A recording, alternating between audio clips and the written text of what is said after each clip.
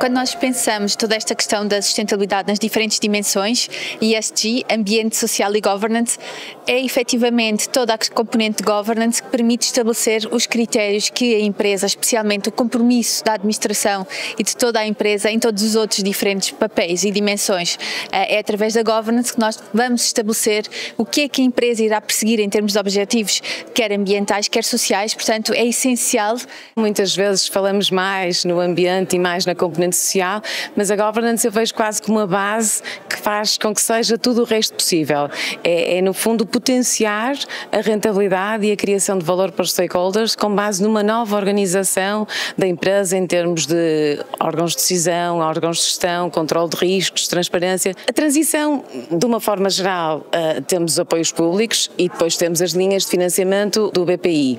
Existem apoios públicos específicos para o tema da governance, no sentido que é investimento investimentos em recursos humanos, uh, mas a, a governance é muito mais uma mudança interna que vai potenciar que os investimentos que vamos fazer nas alterações dos processos produtivos tenham sucesso. Fincando aqui um pouco a importância do, do ODS 17 das parcerias, acho que é a melhor forma que as empresas têm de perceber como é que vão ultrapassar estas dificuldades e como é que se vão de facto preparar para, para os desafios que já existem e, no, no fundo, criar e potenciar o valor de, no longo prazo. Desafios é conseguirmos que a administração incorpore essa necessidade. Temos feito um trabalho de casa, nomeadamente ao nível de financiamento, portanto, nós já temos um longo caminho feito, estamos a ter programas de saúde mental, já tivemos um programa de mindfulness, tivemos gestão de emoções, hoje vou ter à tarde terapia do riso, portanto, também nos preocupamos com as pessoas, com o facto da pressão que existe. Houve também uma conferência sobre parentalidade, como é que o trabalhador consegue gerir o ambiente familiar e o ambiente profissional.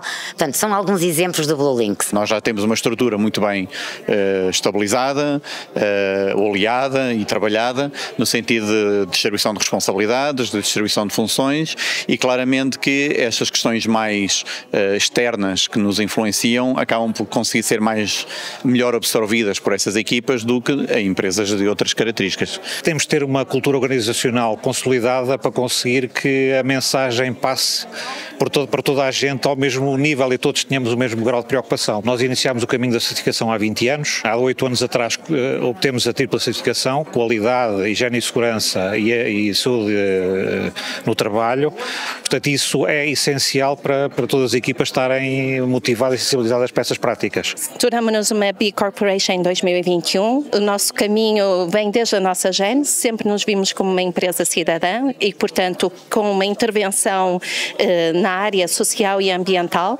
Hoje fomos para além de sermos uma B Corp, somos uma Benefit Corporation e continuamos a ver da mesma forma. O que acontece é que se nós tivermos na gente a nossa sustentabilidade, como é o caso da Portugal Green Travel, é fácil porque toda a nossa equipa está comprometida. Quando não temos, existem normas, existem checklists e existem parâmetros que podem ser avaliados e que são definidos muito claramente para as empresas, quando vão para o mercado, saberem exatamente com quem devem trabalhar e como é que devem trabalhar. Só assim é que nós garantimos na nossa cadeia de valor 100% de efetividade e que de facto seremos o melhor destino do mundo e o mais sustentável em 2030, que é um dos objetivos do Turismo Portugal. Sustentabilidade é um mecanismo de criação de valor, não é um custo, é pensarmos no valor que é gerado a médio e longo prazo, porque sustentabilidade vai criar, gerar inovação, vai gerar novos negócios, vai gerar novos, novos produtos e isso é uma oportunidade fantástica para as empresas. Financia-se através da forma como temos vindo a, tem vindo a ser feito, com apoios a nível por parte da União Europeia, que estão depois os veículos e a operacionalização é feita através dos bancos. O Banco PPI